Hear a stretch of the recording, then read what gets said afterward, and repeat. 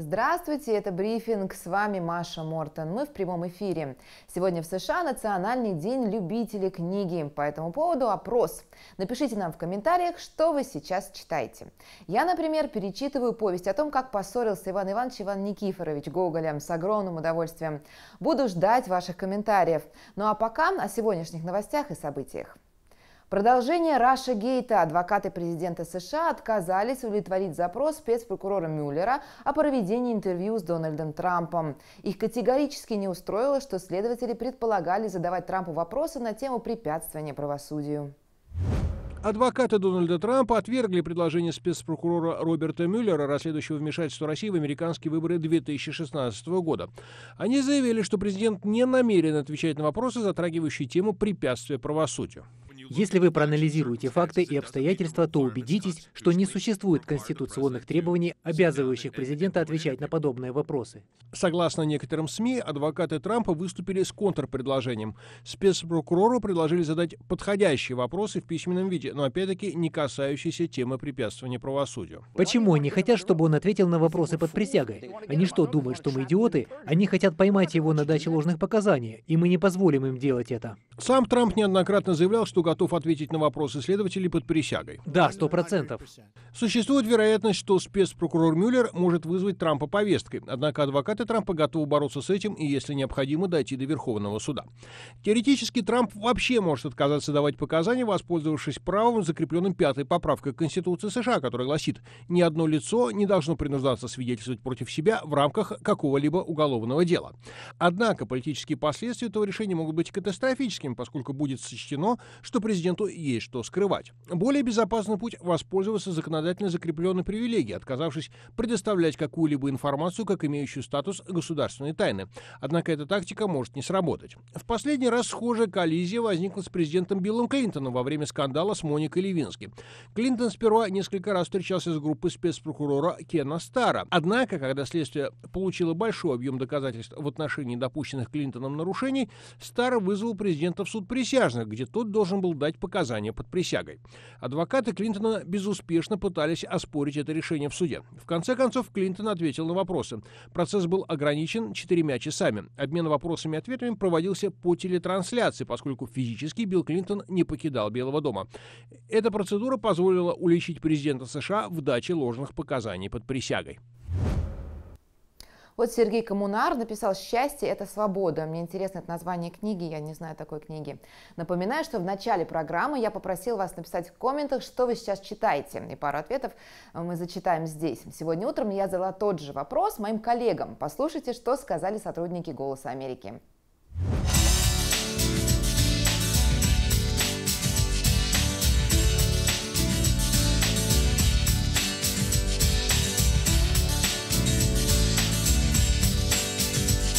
Это вот я читаю э, «Наука самоосознания». Вот. Древняя индийская философия, изложенная, э, так скажем, в доступной форме. А дома я читаю книгу, которая рассказывает о жизни э, афганских беженцев. Детские книжки, когда ребенка спать укладываю, изучаем этот вопрос. Если бывает минутка свободная, могу почитать Foreign Affairs журнал, журнал Time, собственно говоря, а, ну, могу пересчитывать там классику, например, Булгакова, если еще раз доходят руки, но в основном это, да, детские книжечки.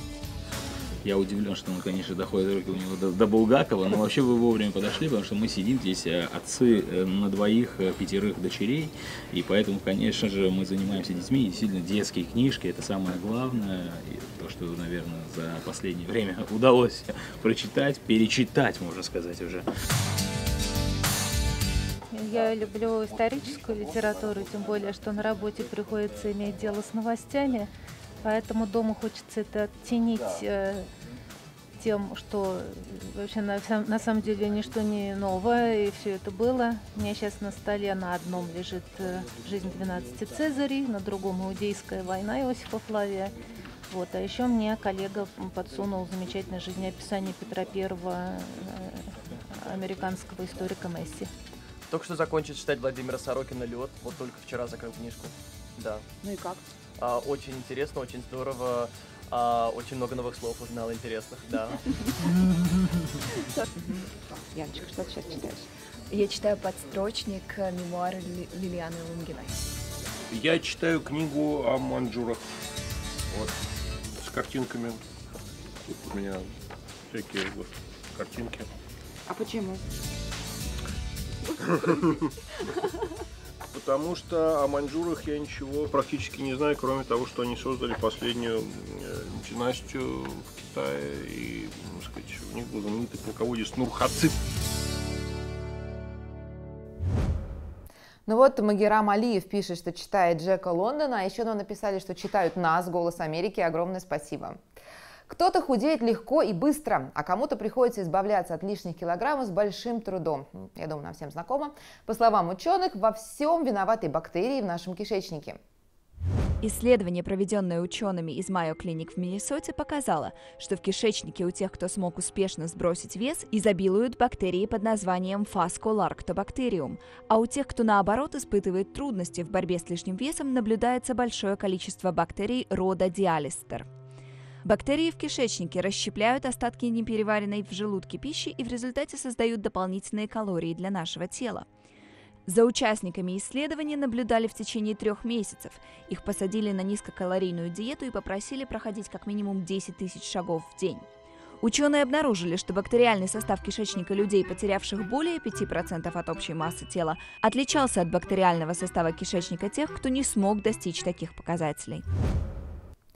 Компания Ford отмечает знаменательное событие. С конвейера сошел 10-миллионный Ford Mustang. Ford Mustang – культовый спортивный автомобиль, который выпускает корпорация Ford. На днях с конвейера сошел 10-миллионный по счету Mustang. Именно столько машин этой модели было выпущено компанией с 1964 года. Юбилейный Mustang окрашен в тот же цвет, что и самый первый. Оттенок называется Уимблдонский белый. Честь знаменательной даты к заводу Ford в городе Флет-Рок, штат Мичиган, съехались более 60 владельцев винтажных мустангов. Интересный факт. Машины назвали мустанг не в честь дикой лошади, а в честь американского истребителя, блестяще проявившего себя во время Второй мировой войны. Многие молодые люди в день свадьбы устраивают фотосессию на пляже под шум прибоя. Однако иногда все идет не совсем по плану. Например, может приплыть акула. Или рядом с вами кто-то может начать тонуть. Солнце, море, шум волн. Пляж города Оранж-Бич, штате Алабама, славится своим белым песком. Жители Оранж-Бич Синди и Зак решили устроить фотосессию у воды в день своей свадьбы. Вдруг случилось неожиданное – к нам подбежала женщина и говорит, посмотрите, там человек в воде, он не может выбраться, может быть, он тонет, посмотрите. Зак в прошлом спасатель береговой охраны. Он знает, что делать, когда кому-то нужна помощь. И действовал быстро, хотя ситуация застала его врасплох. Правда, он был в костюме, начинает снимать рубашку, снимать брюки. Я ему говорю, не надо, забудь про костюм, на это нет времени. Она мне сказала, беги, беги прямо в этих брюках. Ну, я и побежал, попробую, не послушайся. Национальная метеорологическая служба США регулярно делает предупреждения о неблагоприятных для плавания условиях. Такое предупреждение было в силе и в тот день, однако не все восприняли его всерьез. Это страшно, да? Страшно даже представить себе, каково это потерять любимого человека. У нас в Оранж-Бич такое случается, к сожалению. Это напоминание нам всем о том, что надо быть осторожным. Зак и тонущий мужчина не сразу выбрались из воды, им тоже пришли на помощь. Мы с ним выползли, я встаю на ноги. Люди бегут, бегут к нам. И Синди бежит ко мне в белом платье, а я ей кричу, «Синди, не подходи, у меня кровь из носа идет, ты испачкаешься». Он мой герой, мой муж. Мужчина, которого спас Зак, оделся легким испугом, благодаря тому, что пара оказалась рядом. Вот будет что рассказать нашим детям и внукам. Это был самый счастливый день в моей жизни, правда. Прекрасная свадьба. Клифф Вильямс пишет «Никонов АП – венец творения», а Владислав Хайнс сейчас читает Свифта. Напоминаю, мы спрашивали вас в начале передачи, что вы сейчас читаете. Ну, на этом все. Эм, до встречи на следующем брифинге.